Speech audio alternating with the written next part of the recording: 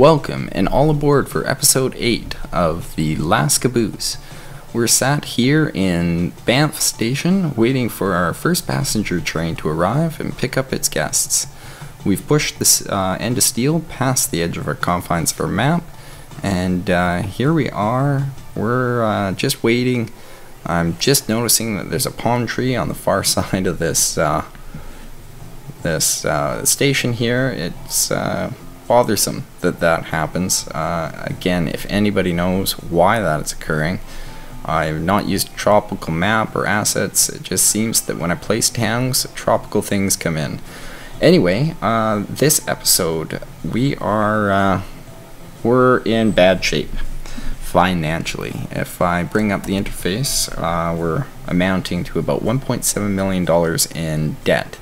Now, after the last episode, I let it play for a little bit and uh, I don't even have money to get rid of this. I can get rid of the uh, trees for free. So there we go. Um, but yeah, I I uh, played this uh, for a little bit longer after the last episode uh, to see where I would go with today's episode. I was hoping to expand on the main line, maybe get that coal and iron on. And I've realized that I've uh, put our company in some serious uh, financial trouble. And I think the root of the problem uh, happens to be with my sidings. Now, the way the game works uh, for us is trains. If we come down here, we'll see a great example here shortly.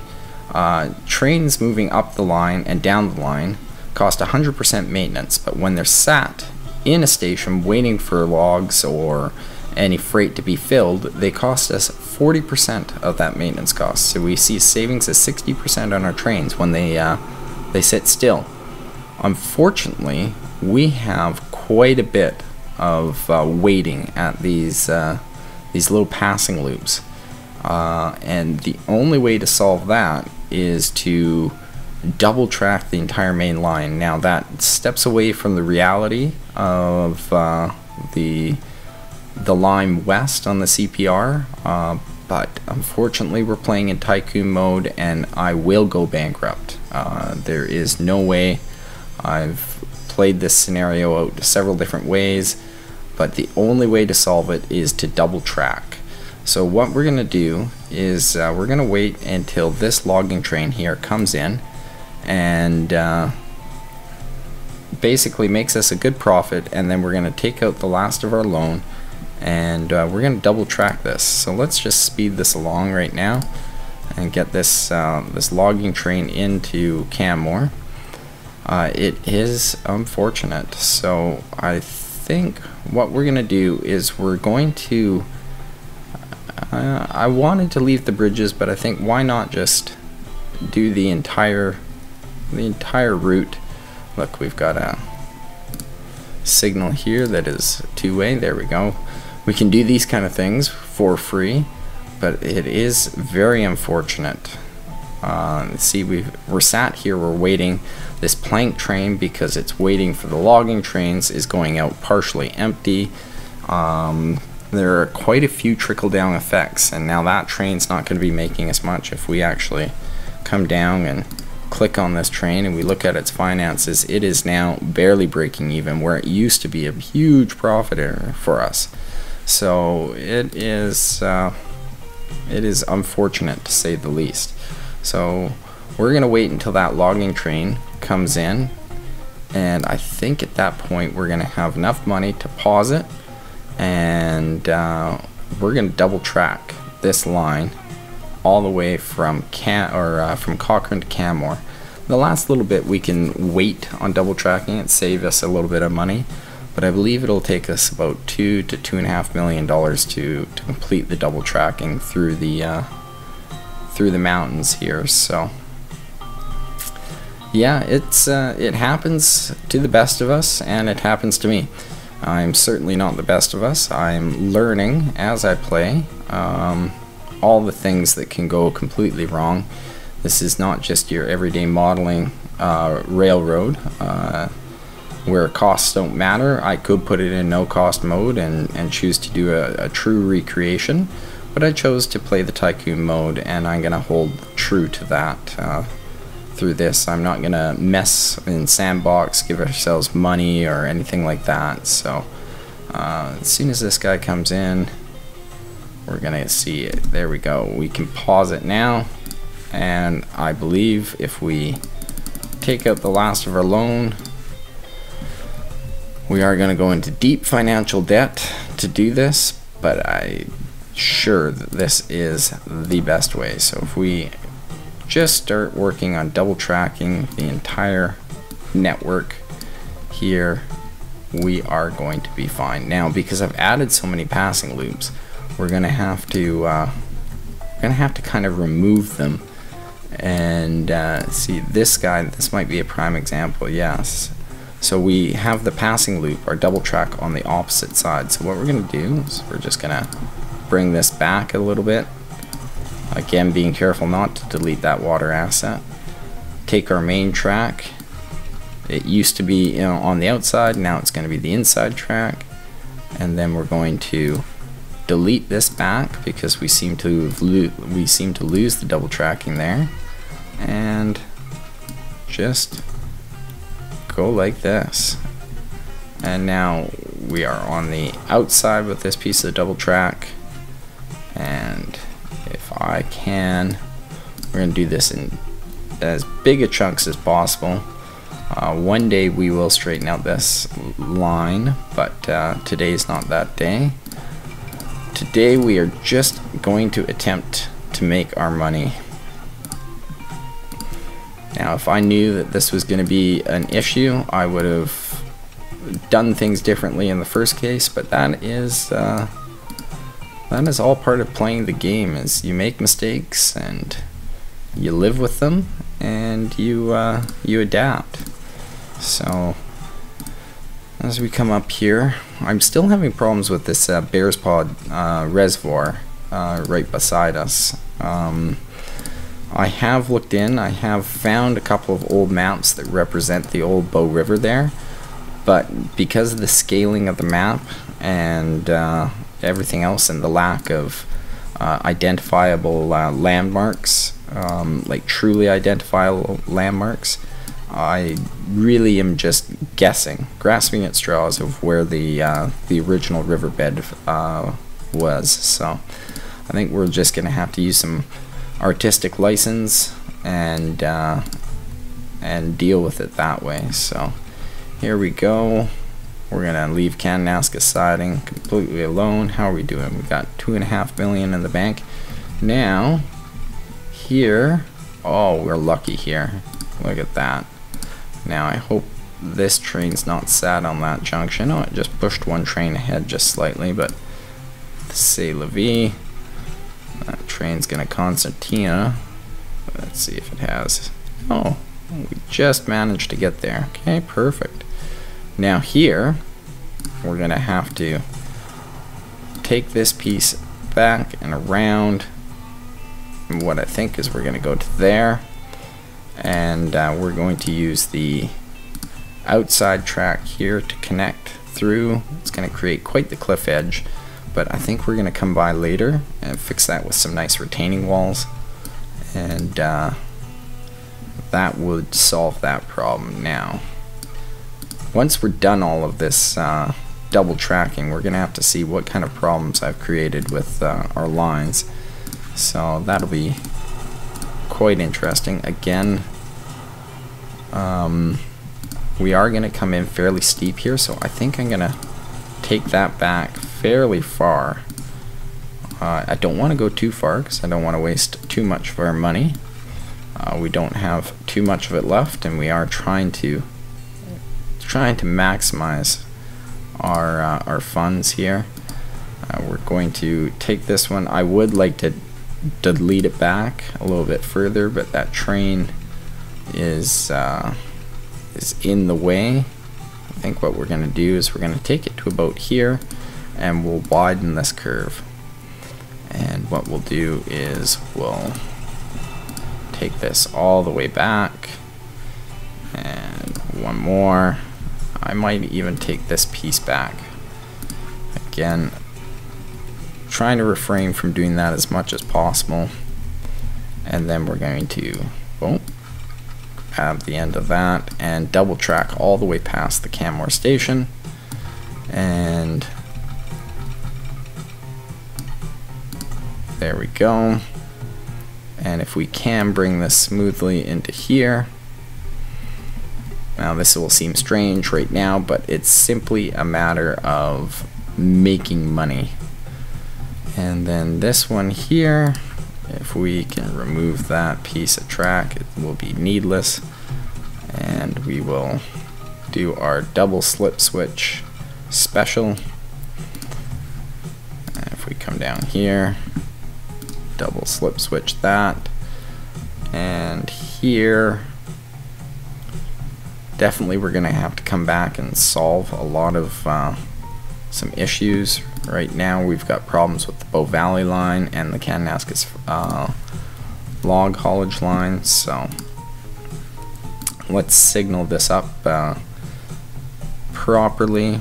We've got one-way signals in here. Um, I would like to add quite a bit of blocking, but uh, well, you know what? I've got the, the funds to right now.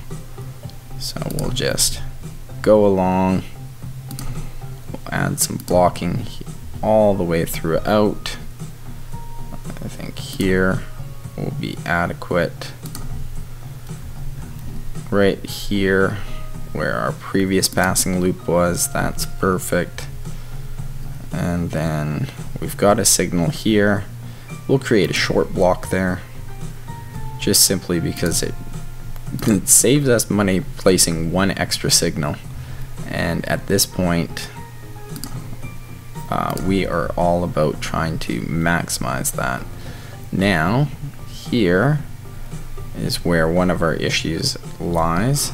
If we can get this train off the track we are going to have some issues but what I'd like to do is bring that all the way back and if we could bring the tracks in and how far can we get? That's as fast as we can get, which is fine. And double switch that. And again, go back and we're going to add signal. And I want this signal here. We've got a signal over there that'll block the main line. I think we'll add another set of blocking signals there we're going to maintain this signal and add that into block. Uh, we will add another chunk of blocking signals here, here. Here's another short passing loop. So this will be a small block.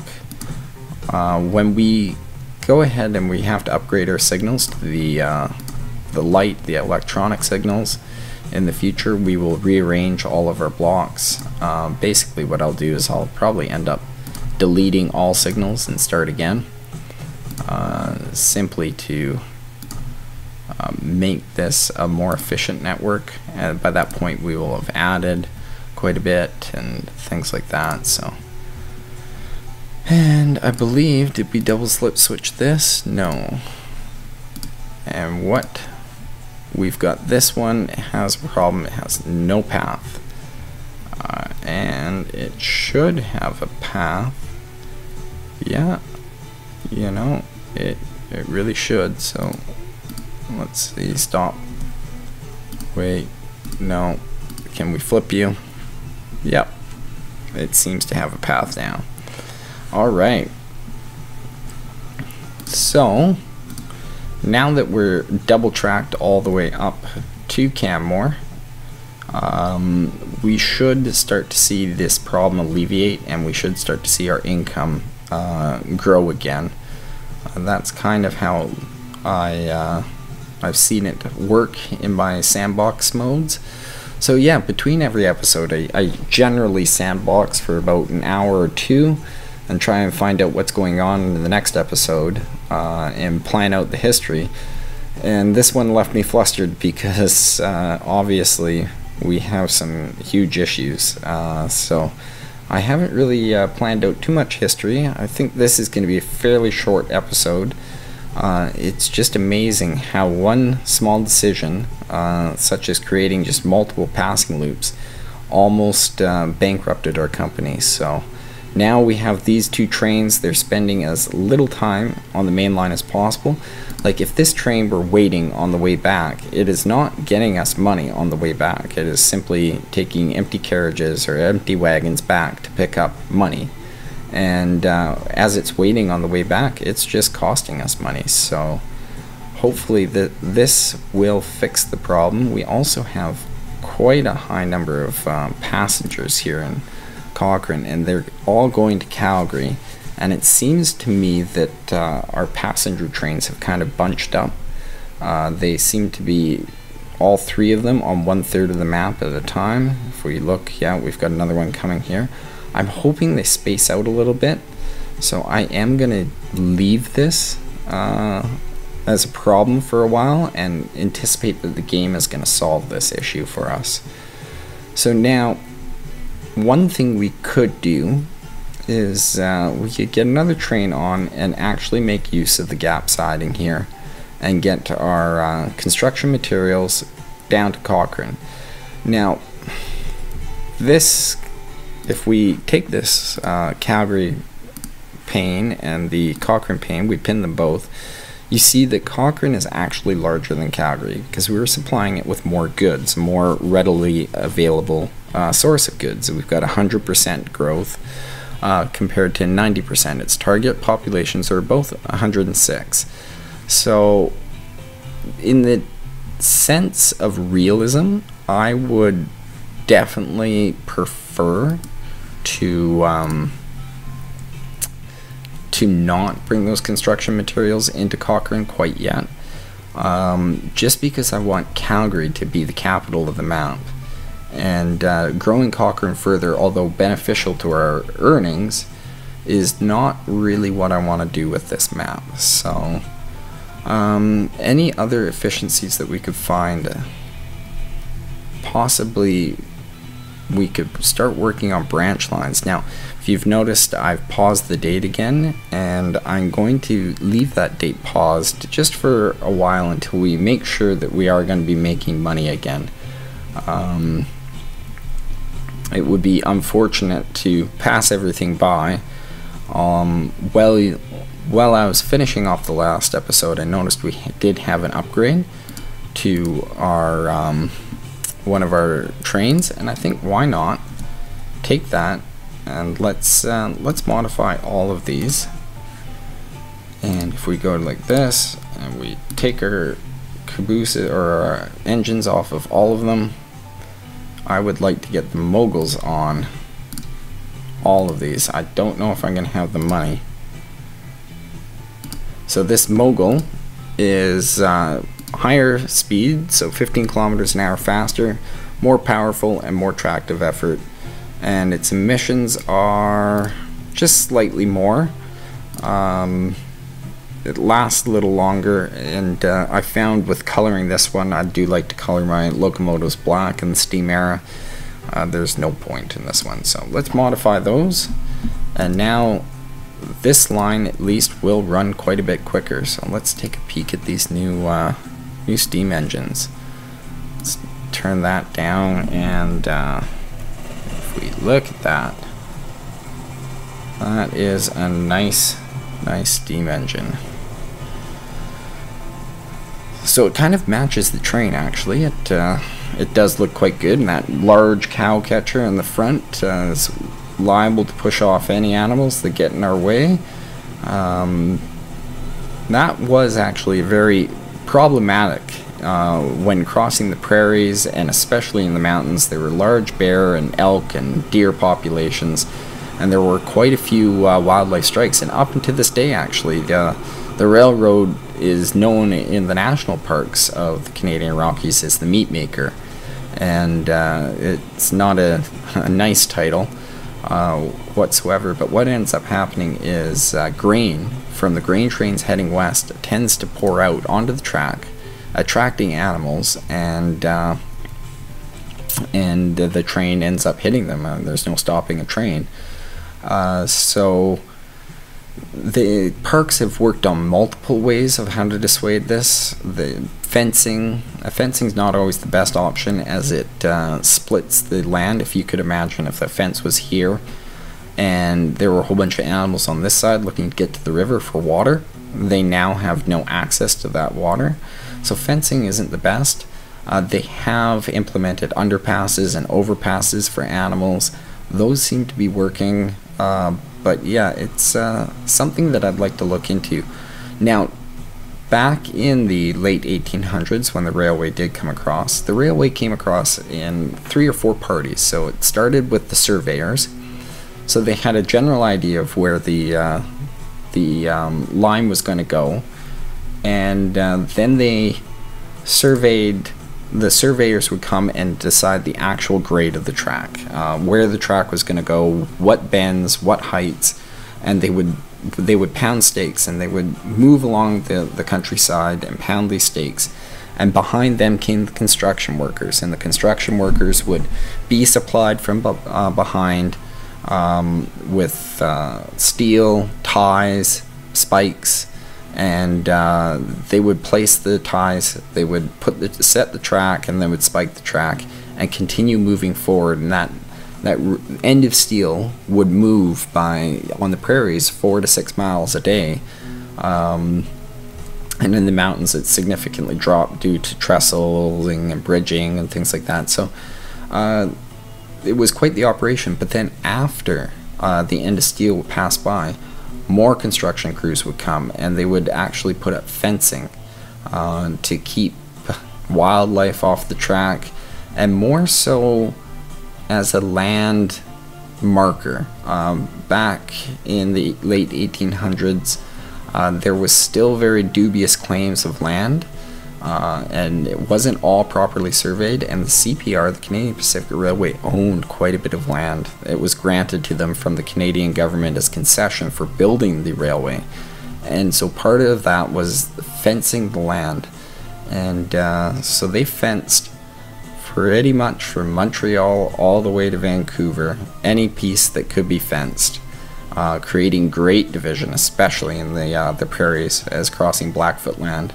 In fact, at one point east of Calgary, the Blackfoot saw the railway coming through and putting the fences up, and uh, the Blackfoot decided that uh, this was not something that they they particularly liked on their land, and they uh, they told the crew to to cease and desist essentially, or they would pay for it in their blood, and the rail crew ignored them and uh, back to uh, the character Father Lacombe, he was brought in to negotiate again and again remind the Blackfoot that this is inevitable. Um, and th- as they moved through the Blackfoot Reservation west of or east of Calgary, the uh, CPR did make concessions and did grant them land uh, elsewhere as the railway did eat up some of their reservations. So it wasn't all uh, a cake relationship with the natives, but I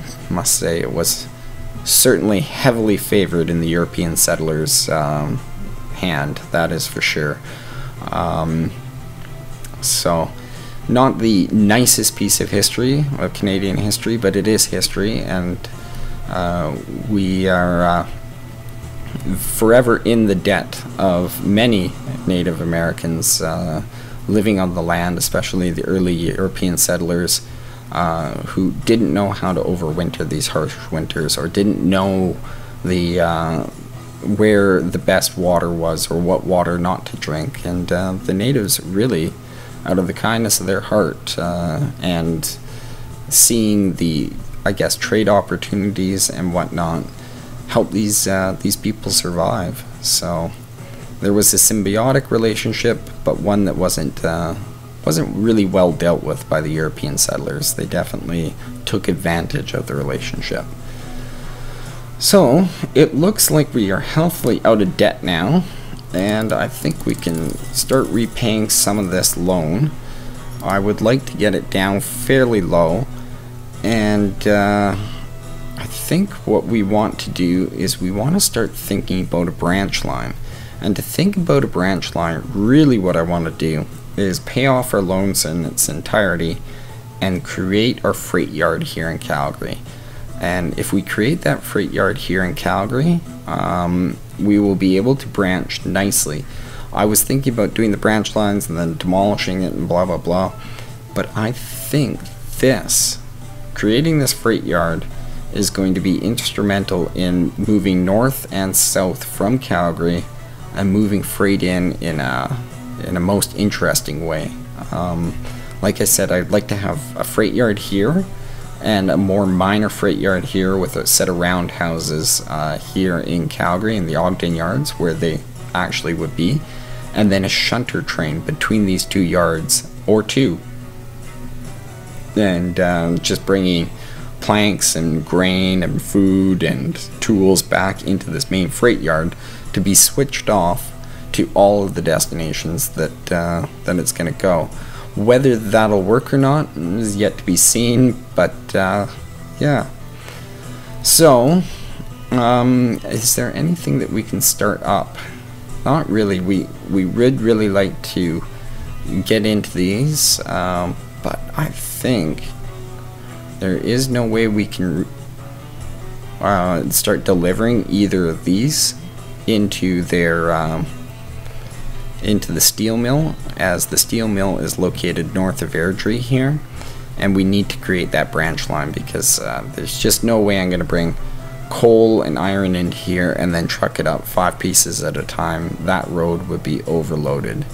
So I think to prepare for um, this in the next episode, we're going to just wait until our uh, funds go a little higher and then I think we should build the uh, Cascade Creek Fire Road uh, it's a fire road. Ah, fire road no, now, but at the time it was a road that serviced mines and uh, logging operations up Cascade Creek. And I think I'd like to bring it down to the head of Lake Minnewanka here, and then down through to Jack and into Banff, where we will set up on the opposite side of uh, this. We will set up some uh, cargo station. Um, because in Banff we're going to drop off some goods, we're going to drop off some fuel, but we'd also like to pick up our iron from Banff. Now I don't think that this iron mine is going to stay here for the entire uh, the entire um, duration of this map, and I'll get on to explaining that, and it has very much to do with the date that we are here now. Um, but I will explain that in future episodes.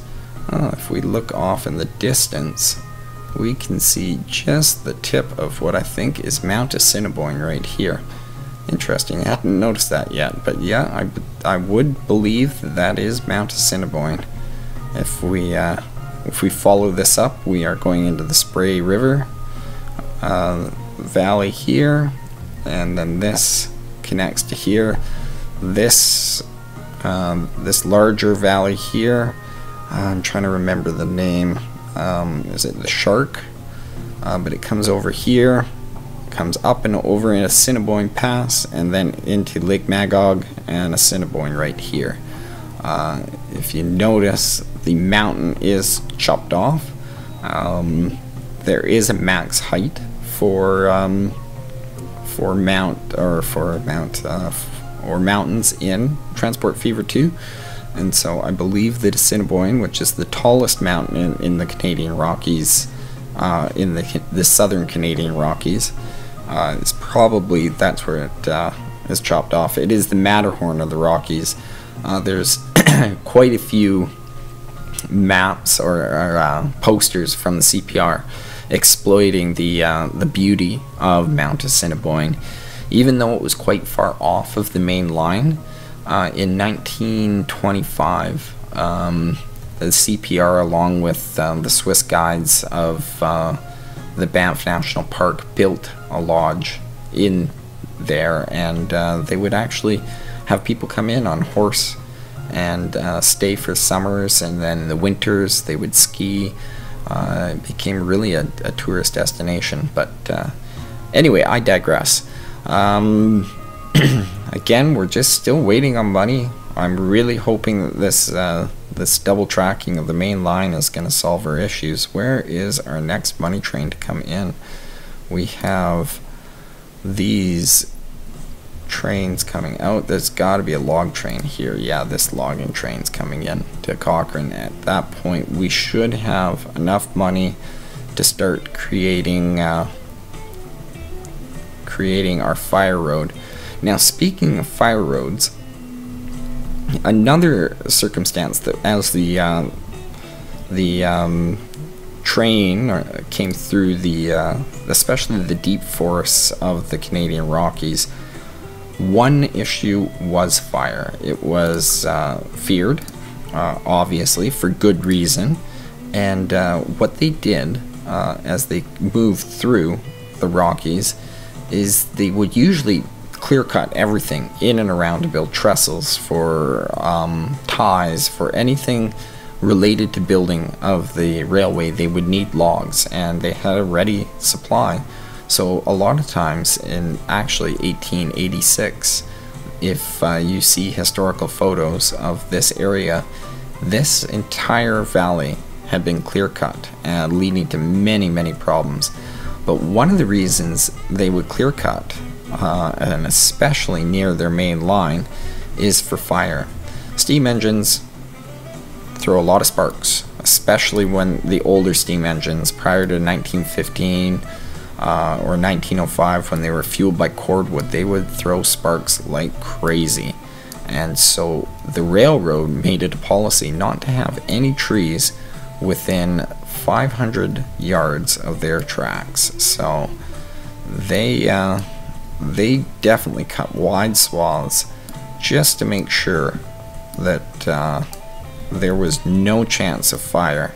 Uh, fires often interrupted the line west on the Canadian Pacific Railway, and uh, it was a great problem. So it wasn't a problem that they just thought, oh well, we'll just you know appease the environmentalists. There weren't environmentalists back then. They there were um, it was all in the name of progress in industry, uh, with very little eye to the future. Uh, with very little eye to the future, more out of ignorance than it was out of uh, sheer dislike for the Mother Earth. So uh, I think we're just going to come ahead, come along, and we are going to take those trees back from that line. And now we have a much cleaner line through the Rockies, and that is exactly how this would have looked. Um, now we could go along and we could do some smoothing and uh, go smoothly smoothly on a lot of these now that we can see them. And we may in the future but again we are broke. So I think let's get prepared. Let's start bringing our uh, our iron down into Banff via Coach Road. And what we want to do is we want to keep this uh, fire road or uh, fire road as it's known now more of a a supply road and access road. Uh, fairly fairly tight. As I said, I wanted to come down and we want to meet with the end of Lake Minnewanka here and uh, bring it down past the Two Jack, which is uh, now a campsite, but was a former camp or uh, former logging camp and if we bring it through to Jack here onto this bench if we can just work it all the way out and around and just work it down into the valley. Um, yeah and now we've run out of money so we're just waiting on our next big money train to come in. And I think that that's just how we're gonna have to play for a little bit uh, as we expand this line.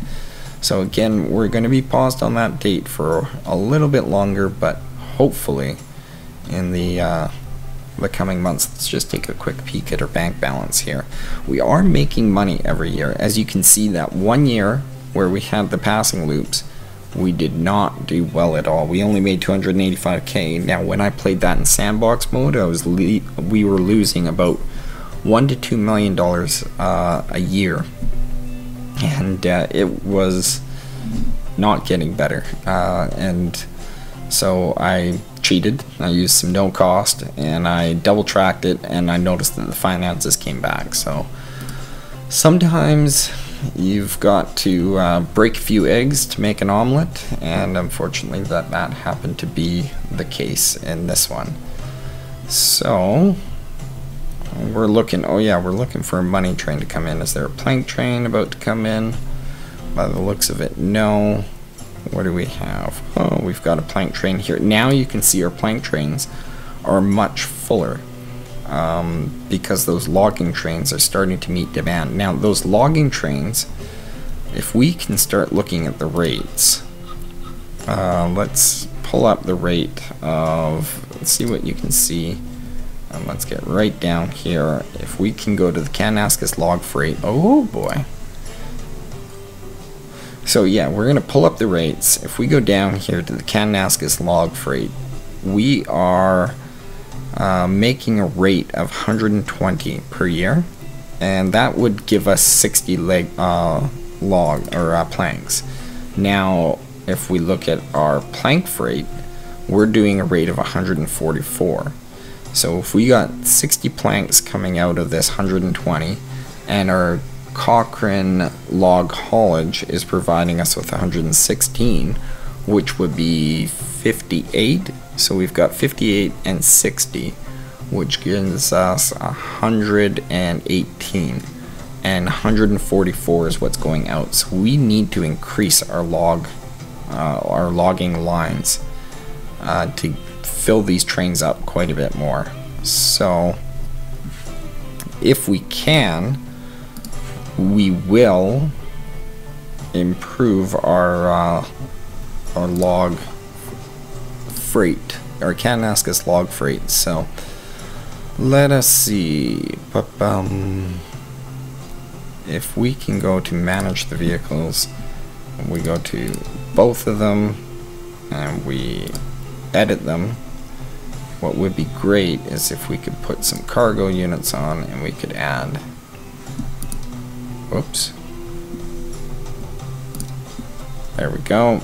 I would like to add two onto the U and push you to the back, and two onto you, and push you to the back, and that's going to be modified for 815,000. Now we'll see what that does for rates. So now these are even longer. And uh, let's get an idea of how badly this thing is running. Um, where do we go? We go for running cost emissions. Power rating, mediocre. Actually, not too bad. It's going to be 149 seconds or 1300 meters to full speed on a flat. And uh, this is generally going flat, a little bit down when it's fully loaded, so I'm okay. Uh, two extra wagons on there. That seems to be perfectly adequate. Uh, hauling power. I mean, it would be nice to double head them and get them extremely long one day, but uh, for the time being, I think this will uh, suffice. So that logging train is coming in nicely now, and uh, our money is starting to crawl back up, and uh, we'll go back to finishing off this, uh, this little bit of an access road that we've got here, coming down into Banff. And now we're going to bring it in. And I think what we want to do is we want to cross right about here. Uh, a little bit. Maybe we'll go from here. I mean, ideally, this looks like the perfect crossing right here. Does that give me a nice crossing? Is it nice and level? Yeah. Yeah, I'm okay with that. And there we go. And, uh, oh dear, what's happening here?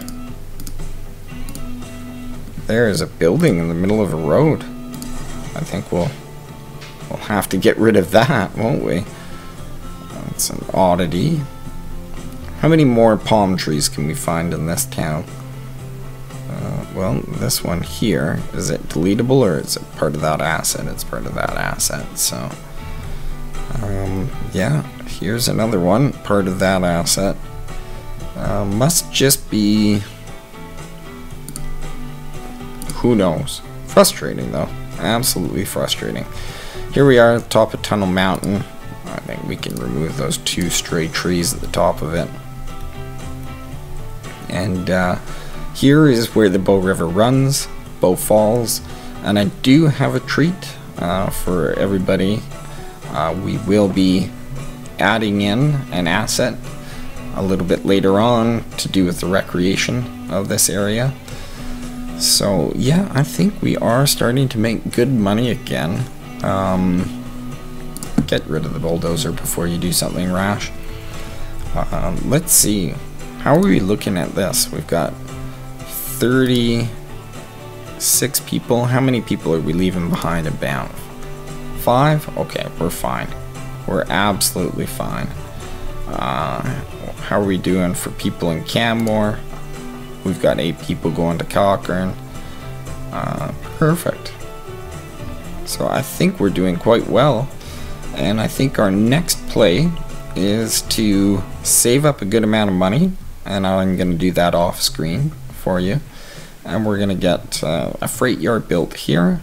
And we're going to uh, start moving freight up to Airdrie, down to Okotoks. We're going to move people between those. And we're really going to start uh, maximizing the use of this map. So I think uh, for the time being, we are in a good spot and we have saved ourselves. So uh, what I would like to do is maybe pop back on to our newly uh, manicured line, fire broken line. Uh, there we go. Let's take a peek. We're gonna ride out on the very front uh, cow catcher or close to. Let's see if we're on that step. Yep and we're going to there we are take a ride back into Canmore area and maybe through the gap and out into the uh, Morley Flats uh, for the end of this episode. It was a nice and short episode this uh, this time around, but we needed to get out of debt and need to explain that uh, when mistakes happen, it's uh, sometimes best to live with them and learn from them. So there you go. I hope you enjoyed our very short episode, uh, solving some uh, insolvency problems, and uh, until next time, we'll catch you. Have a great afternoon, morning, evening, and night.